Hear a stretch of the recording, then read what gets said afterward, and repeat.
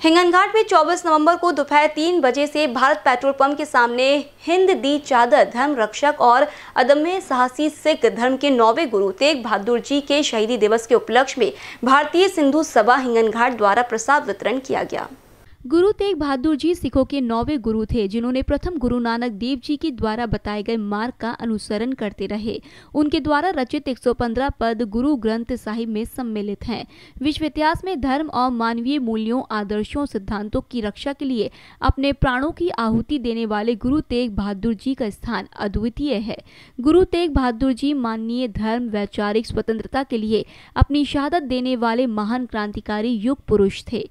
भारतीय सिंधु सभा हिंगन घाट द्वारा पिछहत्तरवें स्वतंत्रता अमृत महोत्सव के उपलक्ष्य में संपूर्ण वर्ष भर सामाजिक और सांस्कृतिक कार्यक्रमों का आयोजन किया जाएगा।